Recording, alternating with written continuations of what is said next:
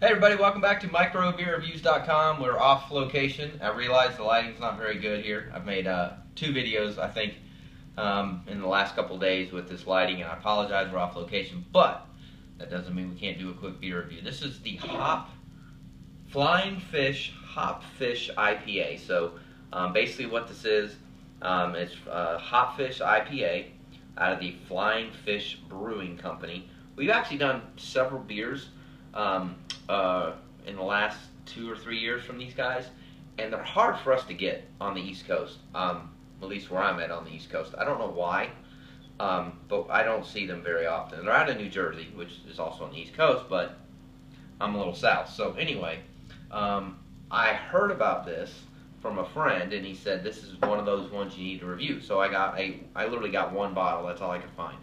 Um, so it says directly from Flying Fish here says at the request of the hopheads who produced an IPA with a deep golden color, plenty of hop bitterness, balanced sweet malt, sweet maltness, extensively dry hop. There's a floral and citrus hop finish. Um, features combination of American, German, and English malts. Uh, fish uses three different hop varieties at five different times. Um, this is impressive that have been dry hopped for two weeks with 22 pounds of nugget hops. That's a lot. Um, ABVs are 6.5, available year round, and it pairs very nice with spicy foods, pizza, and subs. So I have never had this before. It rates fairly well, actually. Um, this is their traditional cap. I don't know if you can see it's red with like a fishbone kind of skeleton on there, which I think is pretty cool. Um, pretty cool label. Um, that you know, kind of that that archaic kind of uh, arts and crafts look.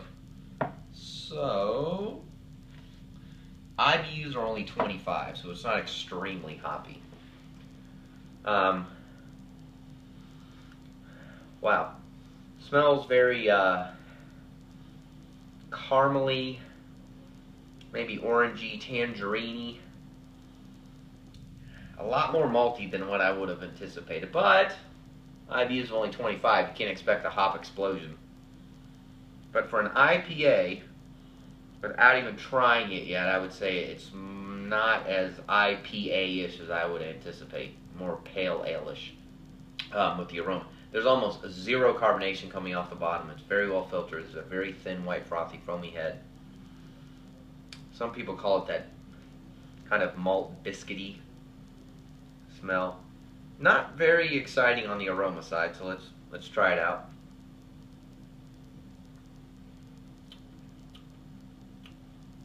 Mmm. Very sweet. Has a little bit of a bite to it.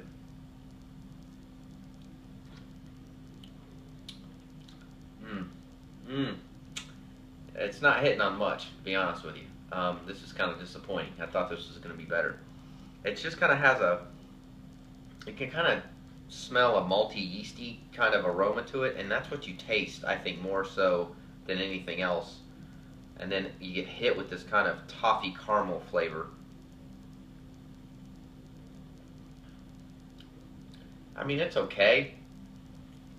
I wouldn't buy this again. Man, I, hate, I can't stand when I do beer reviews like this because I get all excited and maybe has a little bit to do with the expectations, but it just, I mean, they're, talking about this floral citrus balance with hop bitterness, complex malts, English style IPA. I mean, that's like the most generic description of a beer, and it's it's balanced, but it's got this this kind of weird concoction of flavors that nothing really kind of stands. I'd rather it be more florally or more citrusy or more caramely or sweeter than trying to get all in one little conglomeration because it just doesn't come off as a good mixture, at least for my palate. I mean, it's okay. I mean, the, the, the head is pretty thin. There's almost zero kind of carbonation for the kind of fizz bounce. I don't know. I just, ah, um, I would not buy this again. So I'm not disappointed, I guess, that I haven't had it very much.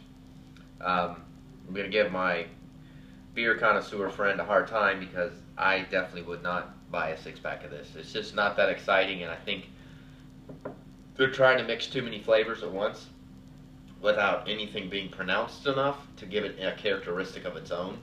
And this would get lost in the crowd of IPAs faster than anything else. I mean, it just doesn't stand out. So I don't want to bore you anymore. Um, I hate doing beer reviews like this where it's just not good, but I wouldn't buy it again. And that stinks. But that's my opinion. So leave comments on YouTube channel or website if you tried it before. Um, I'm hard on the IPA class, or my favorite class, but there's some out there that are just phenomenal in my opinion. This is not one of them. On a rating scale between one and five, honestly, I would probably give this about a one and a half. Um, it's not worthless. I could slug it down, um, but I, I actually prefer not to, and it's just not something I would buy again. So let us know if you tried it. You can follow us on Facebook and on Twitter. We upload all the time. We appreciate you watching. As always, again, we will see you again real soon. Cheers.